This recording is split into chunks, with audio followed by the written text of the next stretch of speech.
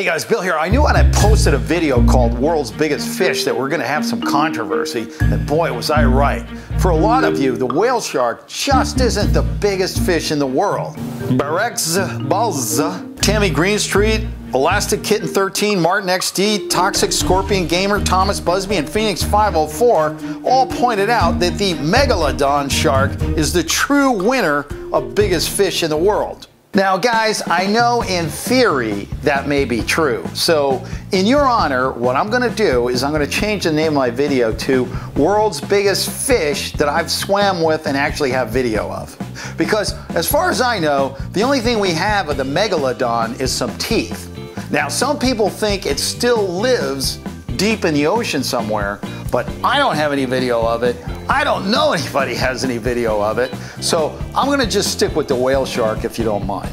Some of you other people like Corkman 3001 tried to correct me by pointing out, Bill, you're actually wrong. The biggest fish is the blue humpback whale. Camru Amin was also in this camp.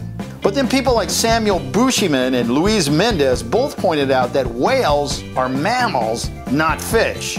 And the title did say fish. But then that man of wit, Xenomorph Overload, corrected Samuel by pointing out fish are animals and the whale family are all mammals. I'm not quite sure what that exactly means, but it does sound like a concept of a notion that could be an idea. Now, in regards to the question I asked in the video about what is the second biggest fish in the ocean, I'm not going to tell you who got it wrong, but I am going to tell you who got it right. Michael Wigley, Robert Anderson, Abby Ram, Justin Gabriel, Evan DeBestian, Louis Ritchie, Bjorn Koth, and Colin Hussey all got it right.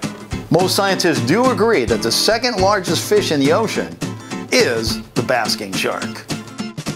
Okay, that's it for this shout out. I'm going to leave you with one of my favorite comments out of the whole section, and it came from Apolero number six. Viva Mexico, cabrones!